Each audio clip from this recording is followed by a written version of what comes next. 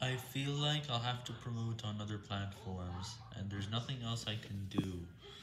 There's basically nothing I can do for YouTube, and I can no longer promote there anymore, so I'll have no choice but to promote on other platforms, at least if I had any chance.